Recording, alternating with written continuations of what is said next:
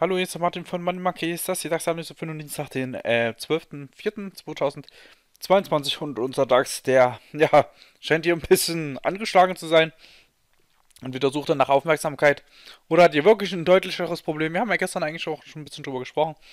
Das ist vielleicht hier die falsche Zeiteinheit. Ähm, aber man sieht, denke ich, auf Tageschart-Ebene auch deutliches Abkippen nach unten. Auch die Tageskerze ist jetzt deutlich eingedreht.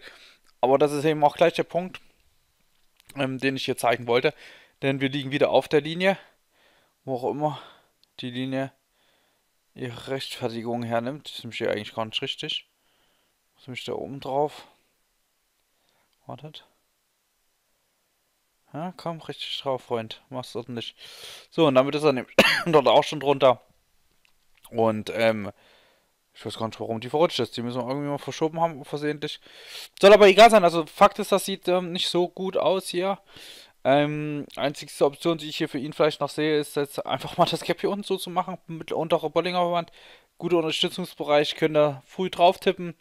Hart nach oben aufdrehen um sich hier irgendwie ein bisschen rauszulösen, aber ansonsten ist es ein deutliches Abdrehen eben auch aus dem Wochenchart nach unten gewesen. Der ein oder andere erinnert sich hier noch, was wir hier gezeichnet haben. Halleluja. Das haben wir nicht gezeichnet. Gib mir mal kurz eine Sekunde, ich schreibe ein bisschen auf. So, also das war ja Kern der letzten Analyse gewesen, dass wir einen super Unterstützungsbereich haben, nachdem ja das untere Ziel abgelaufen ist, ähm, kamen wir ziemlich schnell hier hoch dass dann eben hier die 14.800 letztendlich sogar das Zeug hätte, den Markt eben wieder hier runter zu werfen halt, ne? Zumindest aber nochmal ein ganzes Stück nach unten, haben wir wieder über das Gap gesprochen bei 13.510. Das wäre jetzt auch noch weiterhin möglich, wenn der DAX weiter schwach bleibt. Also auf der Ebene ganz klar Umkehrsignal erkennbar. Die aktuelle Wochenkerze, die jetzt hier steht, ist aber noch nicht fertig. Sollte das jetzt noch eine grüne Wochenkerze, die, während die sich hier wieder reinzieht, ist das ähm, das war noch nicht ganz so aussagekräftig, aber immerhin Fakt ist, dass wir hier in einem Bereich um 14.000 deutlich abdrehen. Das heißt, umso tiefer unser DAX kommt, umso mehr Bewegungsenergie kann er sich gegebenenfalls auch freischlagen. Und das sollte man hier ein bisschen im Blick behalten, insbesondere wenn eben die 13,99 zum Dienstag jetzt nicht halten sollte. Ja, also da möchte ich einfach ein bisschen vorwarnen, weil ich weiß, was instinktiv dann die meisten eben machen und das ist volle Bulle dagegen schlagen. Und ähm, das kann halt wirklich sein, dass der da, der, der da überhaupt nicht zockt halt, ne, dass er gerade durchsteigt, irgendwie in die 800 erstmal reinfällt, dort dann irgendwie zur Seite rumfledert und Nachmittag noch tiefer geht, nächsten Tag einen Abwärtscap reinbringt und dann steht er plötzlich bei 13.500. Das ist grundsätzlich aus der Situation heraus möglich, definitiv. Ja, das muss man ein bisschen auf dem Radar haben und entsprechend hier einfach vorsichtig sein.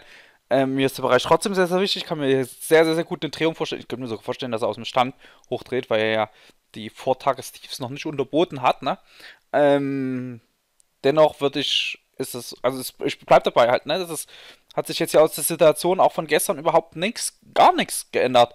Ähm, wir haben hier diese Flagge, die äh, haben wir jetzt quasi in einem Bruch nach unten angegangen. Das heißt, wenn ich jetzt hier ziehen würde, ähm, würde sich jetzt gerade unten raushauen. Er liegt unten aus dem Band raus, er macht sich das Band auf. Also auch aus der Position heraus wäre definitiv die Möglichkeit da, äh, hier mal an die 1399, 1369 reinzuschlagen. Und wenn da keine Drehung kommt, haben auch jetzt die letzten Tage so gesagt, 87 und so weiter, soll der freundliche eröffnen zum Dienstag sich relativ zügig über 14.200 etablieren, würde ich ihm nochmal eine Chance geben, rein in die 14.340, 14.360, die bleibt auch immer wieder gleich halt, ne? die verändert sich nicht die Marke, weil sie einfach aus der Historie der letzten Kurse ähm, entsteht und die sich ja nicht mehr verändert halt, ne? das was da einmal an den Chart gebrannt ist, das bleibt auch so. Und so verhält sich auch mit den Zielen.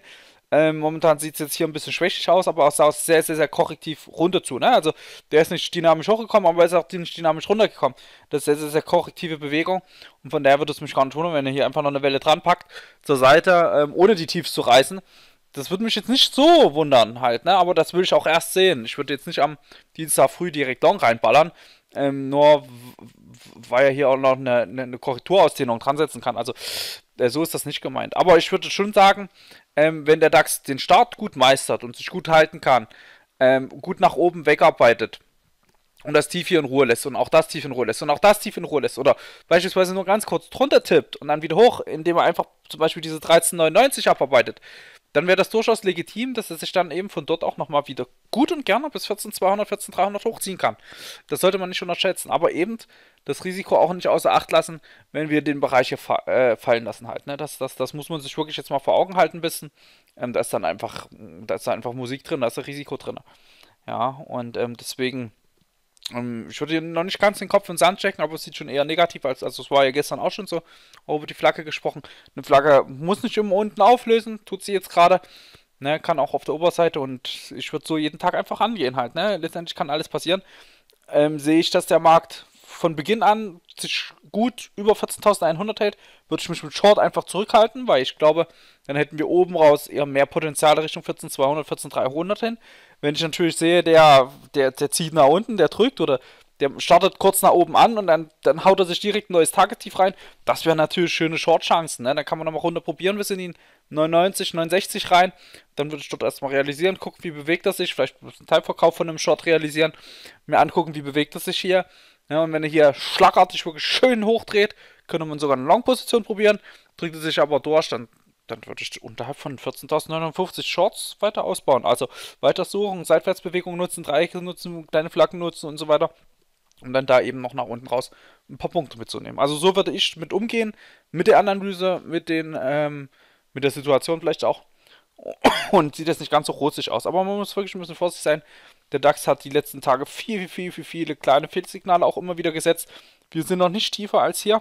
Ja, und wie gesagt, das ist sehr, sehr, sehr korrektiv runtergekommen.